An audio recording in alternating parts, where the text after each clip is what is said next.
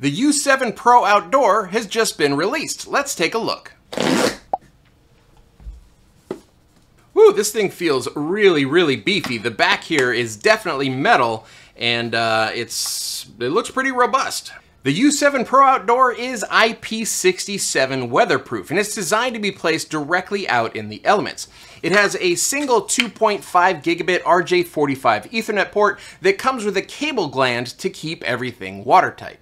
It's powered up by PoE Plus and it features Wi-Fi 7 with 2x2 multi-user MIMO across all three bands. By default, the U7 Pro Outdoor has a 90 degree directional beam width, but it also comes with a pair of external antennas that can be connected to the RPSMA connectors on top, and when connected, it's still 90 degree directional in the 6 GHz band, but it's omnidirectional in both the 2.4 and 5 GHz bands. At the time of this recording, the U7 Pro Outdoor is slated to have an MSRP of 279 bucks, and if you're seeing this video, it means that it's already available in the UniFi store, so go check it out.